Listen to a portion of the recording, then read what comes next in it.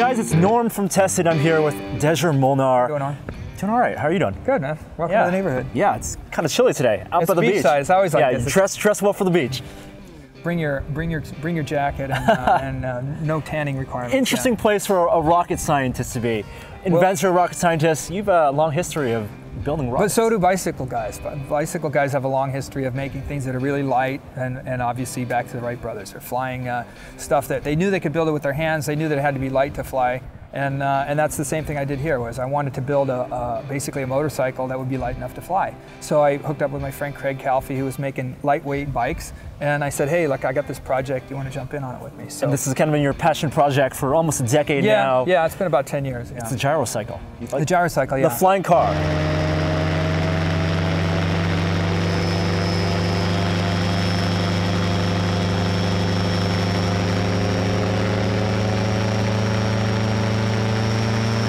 It's the white paper for a flying car. I mean, basically, I, I, I wanted a flying car and I didn't have any specific uh, ideas about how to get there. And then just by deducing uh, through the problem of like, how do you really solve uh, being legal? How do you really solve the things like uh, people are eventually, are, you're going to crash. It's better to crash slow than fast. I wanted to land really slow. I wanted to use not a lot of space. I wanted the thing to be affordable. Uh, I wanted to, as a, on, the, on the ground, to actually outperform the average car. And in the air, I wanted to outperform the average plane. And, and I managed to, I think, put the two together. Right, and we're not just talking about a dream, we're talking about a real thing you've built Yeah. and flown. Yeah. Which is right here. This is the your first gyrocycle. Yeah, this one was in the air the first time back in about 2005, 2006, and we built it here at the bike shop. And uh, and the thing that's a little different about this than than, than most gyroplanes, which have been around forever, I, I was since the early 20s. Uh, a gyroplane is basically it's an unpowered rotor blade. This thing would just spin in the wind if I released it. The thing uh, was designed as a, uh, a wing that wouldn't stall. So that, uh, the guy who developed it, Juan de la Cierva, he wanted something that uh, would be safer than the average airplane. Because people would be coming in for a landing and then the plane get a little too slow, it'd fall out of the sky. So with this one, you can fly really, really slow, like 15 miles an hour, basically. Wow. And it'll land in a space about the size of its own blades. So I thought that would really be a good application uh, for a flying car, uh, just to be able to land in, in congested areas. And people have been building gyroplanes. You know, they're Forever, still building yeah. them. The, the kits, Yeah. you can buy them online. A right? hundred years. Yeah, they're not expensive because you don't have to you don't have to attach the engine to the rotor blade. Mm-hmm. It's a free spinning thing, and that gyration of putting in all the uh, gear reduction equipment that's that gets very pricey. And so with this, all we do is we use the engine to spin a propeller, and the propeller pushes us forward through the air, and then as you're moving forward, the, the relative wind spins the And rotor that blade. gives you thrust, and, And that, gives you uh, lift. That's exactly right. You get the thrust from the propeller, you get the lift from the rotor blades. And again, it's it's a proven method, and, and they've been flying for many years. But the thing that I wanted to do that was different was, I really wanted to be able to use off the, off the shelf motorcycle engines because they're already street legal. You don't have mm-hmm. to have crazy smog laws or things like that that you have to go around. And also, motorcycles are much easier to uh, get on the street than a, than a car. I talked to a guy Henry Fisker recently, and he said it's a quarter billion dollars basically to put a car into production, just because of all the rules and, and regulations that you have Sure. to out. Motorcycles is a very good culture of people that have been building their own bikes for a lot of years, and so um, uh, they've greased the tracks basically for new ideas and innovations. So I wanted to keep it down to uh, uh, less than four wheels, I should say, when we're on the road, and I did that here. We've got just two when we're driving, and in this case, I use just an off-the-shelf motorbike engine to spin the propeller, so that when I'm driving, I can run the rear wheel with it, and when I'm flying, I simply port the engine power up to the to the rotor blades. What's different about this, basically, than other gyroplanes, is I put the propeller between the engine and the pilot. And the reason for that is, as I get bigger and bigger engines, as they're simply available, uh, you know, in the market, you can you can make a larger and larger propeller uh, to keep the efficiency high. So that's the big difference between your gy- gyrocycle and a gyroplane. Yeah. In, in terms of flying car, two important parts: flying and the car. And this is still classified as an experimental vehicle. Like This one is an experiment. Yeah, it's an experimental aircraft, and uh, that's a really nice thing. That here in the states, you basically fill out three pieces of paper, and and I mean three, not four or two, but there's three, and then a guy will come out and he will inspect it. There's certain things that are expected in an experimental aircraft to make sure that it's safe, um, and then you go through a testing process with it. But but basically, the restrictions are extremely small. yeah, what does that allow you to do? Like, where can you fly this? You can take this to an airport and just Yeah, you take can. off? What you do is initi- in the initial stages of an experimental plane, you just stay close to the area where you've all agreed that you're gonna you've built it, or maybe in a nice remote area like this. Do some testing. You do about 40 hours of testing, and then once you've determined that it's really safe, then you're able to just go anywhere. I think probably 10 or 20 percent of the airplanes in the U.S. are actually experimentals. Wow. So home built, home built experimental. You, got, you guys built this by hand, you know, Yeah. in Craig's workshop, and Yeah. the first time you take it out, how, how does this operate? What we did was we actually made a mixer system here. So basically, it's a kind of hybrid setup right now where I, I can control the front wheel with the with the steering handle. Mm-hmm. But basically, we just use these attach rods, and we the way we mix them up allows you to either control the thing with as a motorcycle, and in this case. Uh, I use these control rods to, to move the front wheel, and if I was driving right now, I would run these other two down to the wheels. And what I can do with that by pushing the lever forward and aft like so, uh, if Oh. it's stuck up in drive mode, this will becomes this like it's like the yoke. well, yeah, but it will also, it'll pull the wheels in. Oh, okay. So when the bike is going, it's only 24 inches wide. I wanted it thin enough that I could stick it in a hotel room. And also drive between cars. Yeah, drive between cars and put in a hotel room when I'm traveling.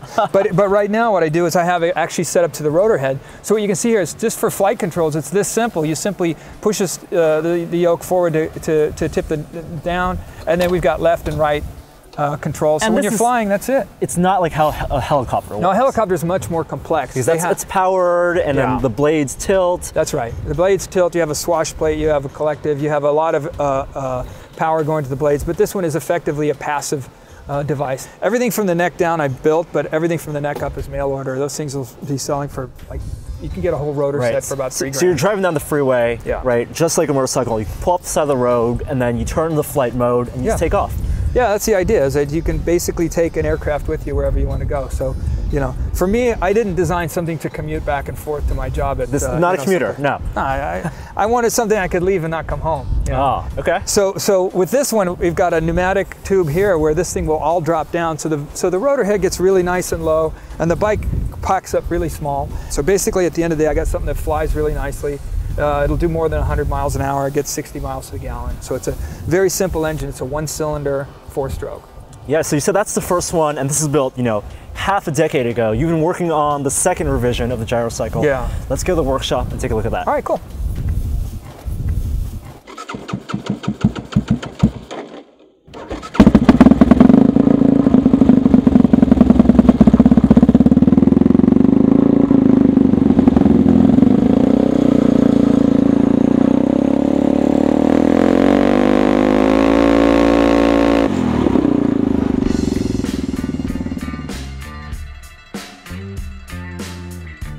All right, Dezsö, we are here in Craig Calfee's workshop where you have the Mark II. The gyrocycle, is it appropriate called the Mark II? We call it the G2. So The it's a gyrocycle G2. 2. It's, it's uh, the second one, but more importantly, it's got two seats. double seats and also looks like you, uh, double the, the wheels in the front. Yeah, this is actually this is the f- kind of the fourth generation of this particular bike. Again, everything down bottom we, we, we have to really invent, and uh, Yeah. from the neck up it's all mail order. But we started this one out originally. I had a steering wheel, I had like a Formula One steering wheel on it with Mm-hmm. uh, you know shifting on the dash and everything, and then. Uh, we changed it to, from that to a handlebar. We did actually a lot of driving with it with the steering wheel. I've had it up to about 130, 140 with the steering Wow. wheel. It's pretty pretty challenging thing to drive, but it was something we wanted to know if we could do it or not. There were certain reasons for that. And then um, more recently, I changed out the front wheel uh, with these two front wheels, and it's still able to lean about 40 degrees to the side, so we can still do banking, high-speed turns. Now the other thing we've just done is we've added the flight equipment for just the propeller section. So we've just grown about two feet. So uh, that's the, we haven't ridden it yet with the new configuration, but I'm hoping it's going to behave just as well. So right now, the additional wheel in the front, a little more stability. You're not gonna. What it does is it gives us a lot more traction, basically, uh, and it's a, li- a little safer. So Mm-hmm. the chances of you basically slipping both wheels out are a lot less than if you have one. So, so uh, you know, you're cruising along on this thing. It's nice to know that you've got a lot of traction on the front. Yeah. So it's, And they're narrow, so the main thing about that is it doesn't uh, create any slipstream problems. Right. So the rules with motorcycles are that you have to have the throttle in the right hand. So what we'll do is I'll go ahead and put in a stick for the left. So Mm-hmm. when I'm flying, I'll just run the throttle here, and then uh, all the directional control with the gyroplane will be with the left hand. And then I'll add a couple foot pedals. I've, I've just stuck a brake pedal for the rear brake in the middle there, and I'm going to put rudder pedals to the right and left of that. We've had this thing out uh, again like very very fast, and it's a very very stable platform. So you had the motor here connected to this main frame, and you said you added about that two feet. Yeah, that's right. And this is a, a new motor. It's a motorcycle motor. Just This a, is a motorcycle, it's a street bike engine, and like right now, we're basically what I've got are the props folded down. But what we have here is just a you know a drive, just like you saw a second ago, off the uh, off the drive output of this, which is a, a sport bike motor. So the first bike you saw was a one-cylinder Mm-hmm. four-stroke, and this is a four-cylinder four-stroke. It's like a thousand dollar motorcycle Yeah. motor, as It's opposed to like an airplane motor. It's going to be like what Thirty, thirty thousand. but it's a street legal too. Yeah. And that's that's important. Yeah, The car well, part. yeah, again. and, and most airplane engines run on 100 uh, octane low lead, meaning they're leaded gas. They're, they're not going to drive on the street. And they don't have already a history of being allowed to do that. So by the time you get your hands on a motorcycle engine, it's already done that. And so for us, what we do is rather than have some bizarre kind of a, a reduction drive uh, that's cantilevered out, we simply use the, the, the, drive system as literally the backbone of the whole vehicle. And this is actually the strongest part of the bike. People are thinking, oh my God, it's going to break. But no, everything, believe me, it will all shatter around this part.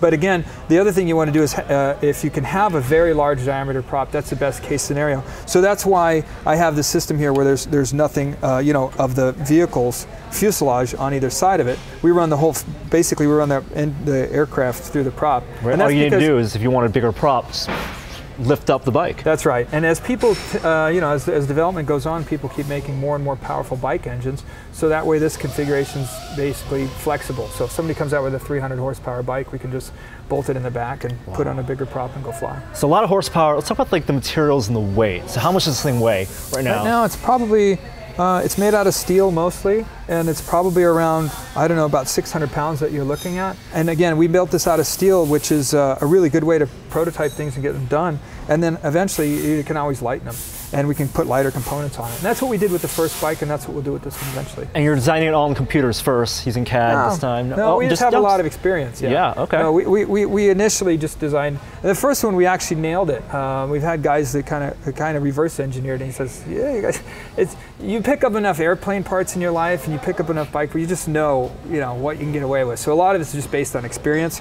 And then as we've reversed engineered, we kind of said, okay, yeah, or mm. we basically back stuff up.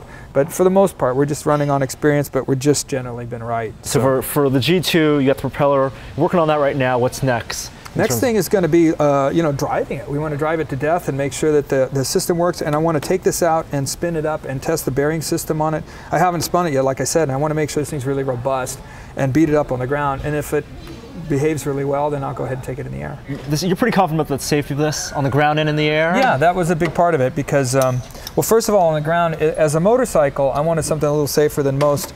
Uh, and again, that's why, again, we have two front wheels, mm -hmm. which keeps you from basically keeping the front end on the ground. I also have seat belts on it, and uh, I've crashed this thing five or six times. You can see the scrubs on it. We, yeah. we, have we've, we've augered it in a bit, you know, just because we really put it to the limit. And uh, But nobody's ever been scratched with it. We've got seat belts on it. That's really helpful.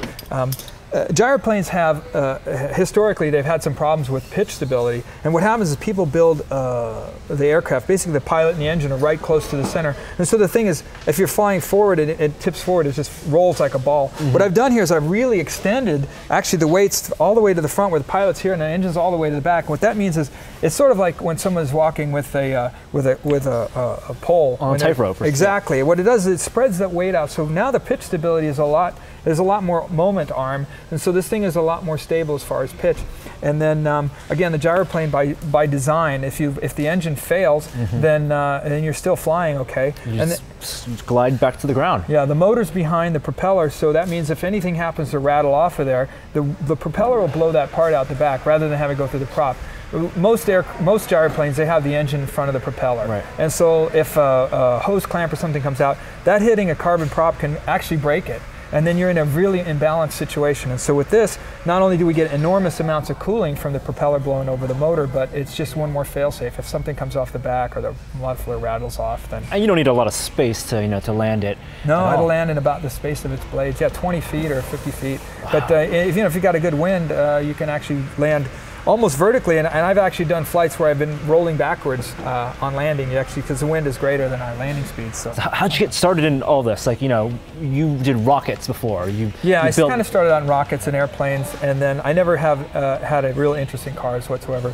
But I did build. Uh, I worked with Craig Breedlove on his land speed racing car, so that was kind of my first car. Was a supersonic one, and that was a lot more. the like first car was a supersonic one. Yeah, but it was a little closer to the stuff I understood, so I was able to add some value. Uh, and again, cars per se, I don't really like them. I mean, I, I use them, but I'm not a big fan of them, and I wouldn't fix up an old one. But I do like the opportunities with, uh, uh, again, able to use a, a, lot of technology that already exists and basically buy Ouija board or whatever, you know, mix it up a little bit. So, and this one is actually one I really want to have, which is really why I'm building it you know. So what, what's in the future for gyrocycle? Well, I'm hoping that racing in the near term, what I right. really hope for is that basically this thing is at the point where most tracks will deal with something that's about 200 miles an hour. Right. They don't You're talking about race tracks, NASCAR. Yeah, I mean you go to they uh, Indianapolis every year they make the car slower so that they don't have to make a bigger track, right? Mm. So they keep them at 200. Well, th- this bike's certainly capable of being around a 200 mile an hour machine, 200 or better, to be honest.